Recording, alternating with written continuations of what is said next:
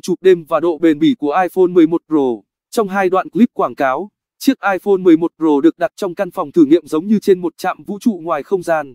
Ở bài test đầu tiên, có thể thấy liên tiếp những vật thể từ hoa quả, trái cây, đồ chơi nhựa, và thậm chí cả một chiếc bánh kem đã được ném vào chiếc iPhone 11 nhằm thử nghiệm khả năng chống chịu va đập.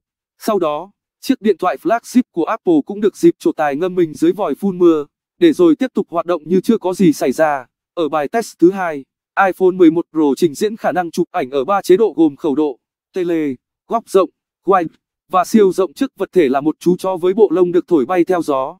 Dẫu vậy, ảnh chụp trên iPhone 11 Pro trong đoạn clip vẫn bắt được chọn gần như mọi khoảnh khắc và có mức độ chi tiết điểm ảnh ấn tượng. Ở phần sau của clip, Apple tiếp tục khoe khả năng chụp đêm trên iPhone 11 Pro bằng cách tắt hết mọi nguồn sáng. Chỉ còn lại một chiếc đèn ngủ với ánh sáng rất yếu phía sau vật thể. Tuy nhiên, camera của iPhone 11 vẫn mang đến hình ảnh ấn tượng. Bên cạnh việc tung thêm clip quảng cáo nhằm giới thiệu các tính năng mới, Apple cũng bắt đầu chính thức cho phép đặt hàng trước dưới hình thức pre-order kể từ ngày hôm nay 14 tháng 9.